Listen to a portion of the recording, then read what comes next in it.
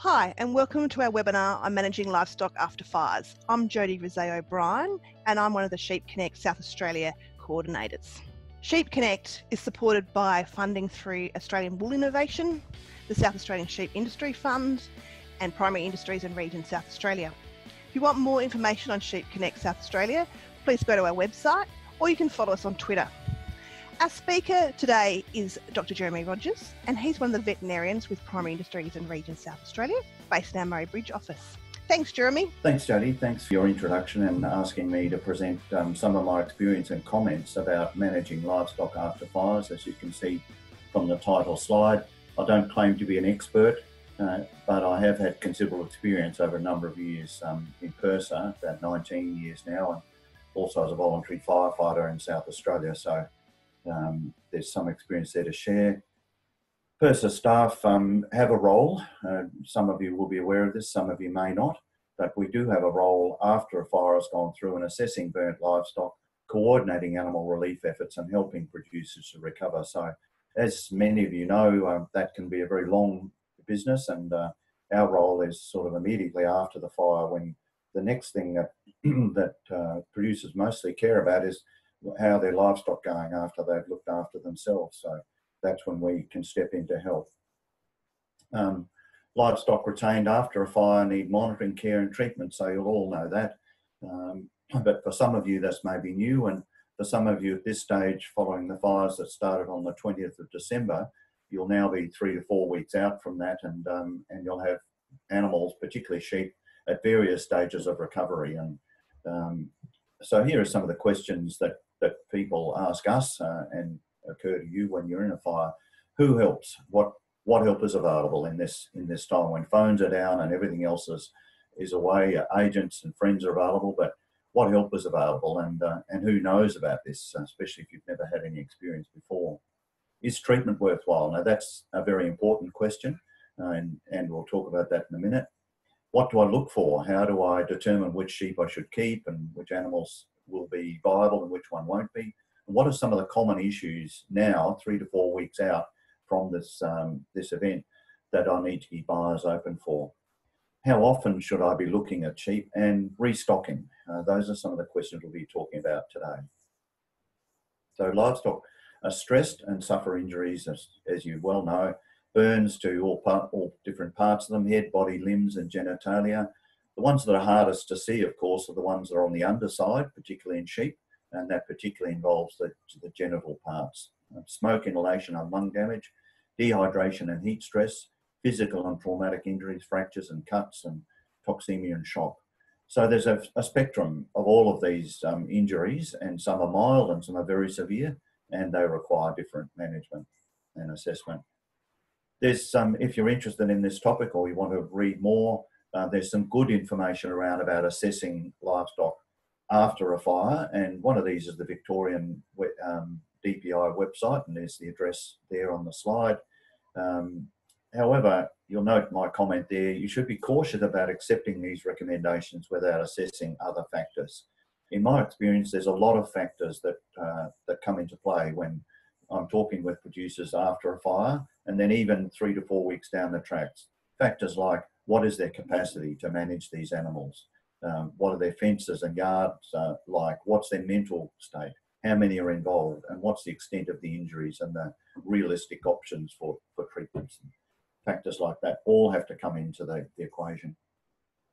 Here's some, uh, just one or two slides we'll hear about cattle. We're mainly going to be talking about sheep, but cattle actually seem to manage and survive much better than sheep. And most of the things that I've seen um, involve their feet, and you can see um, the feet of this animal have been affected. What you probably don't see is the udder and the teats. So um, that's what you've got to be aware of, particularly with cattle. And black cattle can be very difficult to assess, so you really need to get up very close to them in a, in a yard situation. What do recovering and surviving sheep need in the first week?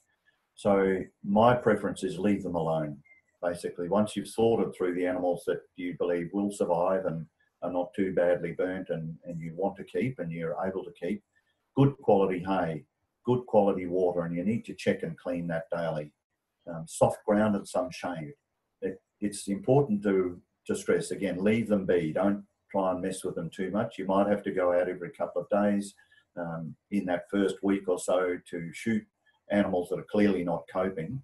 Um, but then two to three weeks later is your, your, opportunity to reassess them and see which ones are going to be viable as breeders and, um, and animals to keep, and some which you may treat and salvage, and some that just need to be put down or salvage slaughter. Monitoring of these sheep uh, is required every day or two. So if you've got a hospital mob having gone through them after the fire, um, then uh, you treat or destroy sheep as symptoms develop.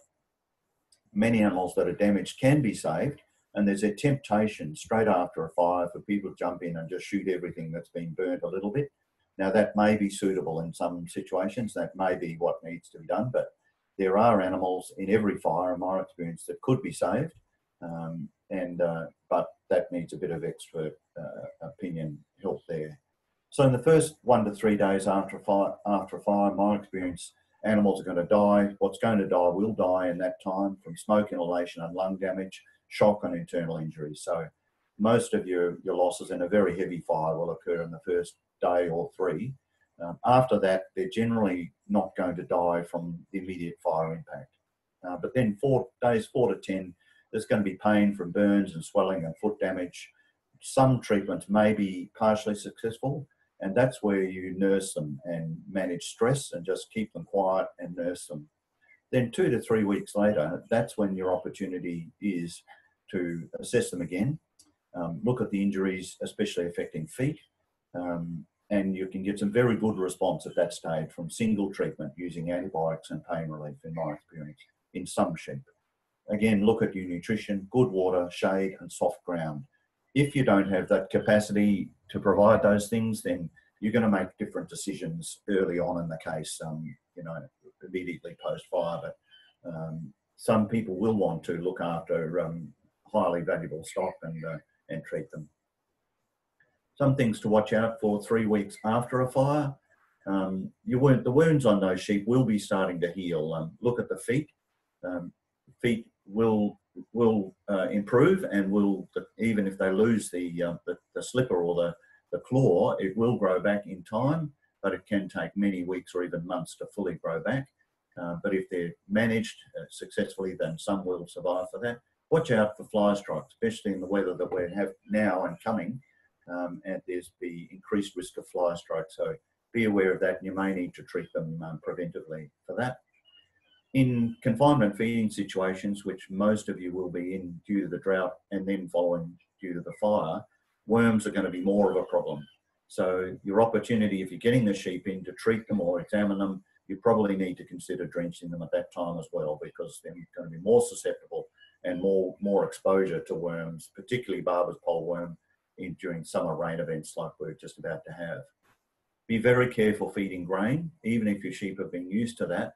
You need to consider them they're not well and they'll need a lot slower than normal inductions if you're going to feed grain and think about your vaccination. If you've got lambs, um, you may uh, be have to especially be careful about pulpy kidney and other preventable clostridial diseases if they haven't been vaccinated. Decision made on the fate of affected livestock will take into account many factors. So this is just about every case is different. Um, so for animals that are retained and not too badly burned, breeding value and damage to teats, udders and male parts should be assessed. So it's important when you do that to get qualified help, someone who's done it before, who knows what to look for, and can give you an opinion. And to some extent, if you ask three people, you'll get four opinions, but mostly they're reasonably obvious. But um, the real difficult ones are teat assessments on um, on ewes and cattle. Um, an early decision to send for, for slaughter may avoid costly problems later. So, um, if you've got pregnant ewes, for example, um, and you think their teats are damaged, they may not be able to rear a lamb or be valuable, be viable breeders. As soon as they're recovered sufficient to get on a truck, it's probably better to put them on a truck at that point and send them to slaughter rather than take a risk that they won't be able to rear a lamb. Here are some um, case studies from a few years ago, but um, recent experience uh, has repeated this. So just some photos in sheep and cattle. Um, the lesions in the cattle, as you can see on the teats on the left-hand side, fairly severe and that was simply from walking over burnt ground. These cattle were not impacted by the fire, but just these heifers were stud heifers. walked over burnt ground. Uh, will those teats recover? Um, in 50% of them, they did. Um, so eight out of those 16 heifers uh, were able to rear a calf, um, and half of them weren't. The sheep on the right hand side was a group of, um, of sheep where the owner was convinced that he'd have to shoot most of them because they'd been affected by the fire. And we were able to sort through them, and I think we only put down about eight or 10. Um, but we put 60 in a hospital mob. These were valuable sheep. And this, um, if you look at some of the lesions here, some of the burns, and this is about two weeks after the fire, you can see burns on the back legs, in the crutch there, on the face, and they were treated. As you can see, uh, then after two weeks of simple treatment, that's the healing wound, and you can see that udder looks really good, and the, the leg wounds are healing up nicely. Um, and there's some more wounds that uh, before and after type of shots on those sheep and on the feet. So these these sheep um, at shearing time, um, four months later, uh, were, the owner told us that they were difficult to tell apart from the non-burn ones. How many of those will have um, significant scarring of the teats, teats and might have been a bit of mismothering? Um, it's hard to say, and that that owner couldn't tell us because he couldn't tell which ones were the burnt ones and which ones weren't. But um, and that's a good news story. It won't always be as good as that, but my point here is that some animals, um, if you've got the facilities and the time and the ability and the willingness, some animals can be saved with a bit of treatment and some care. Beware though, lambs don't do nearly as well as you. So lambs that are even slightly burnt, in my experience, don't do so well and, um, probably need to be either put down or salvaged as quickly as possible. Here are these heifers again. Um, you can see the, the teats damaged on day one there. Um, on both uh, of those slides. But then two weeks later, after some ointment, uh, they they uh, healed quite a lot, and those those heifers went on to rear a calf successfully. And so there's that story again. Now, some of your decision making in cattle and in sheep will bear will bear in mind some of these factors: how many you've got, uh, whether they're stud stock or not, or highly valuable breeding animals. Is insurance an, an issue? So you need to discuss or have in, in mind what insurance will uh, do with these. If you decide to cull them three weeks later because they're not viable as breeders, will insurance still pay for the balance of, um, of the value of them uh, and so on. Nowadays, when I'm assessing teats, um, particularly with cattle, I like to give an estimate of likelihood um, on the teats to say, okay, this, this cow's got a 50% chance of rearing a calf, or a 20% chance, or a 60% or 70, whatever um, based on the degree of teat damage, then the producer can decide whether he's going to keep that animal or sell it, um, cull it to slaughter. Again, um, 2020, similar issues as previous fires. These were some animals that were treated. Um, these are not black cattle, as you can see, but the, the, the evaluation is much the same. So these cattle are probably going to be able to rear a calf, um, but others won't. Final note um, as I wrap up now about restocking.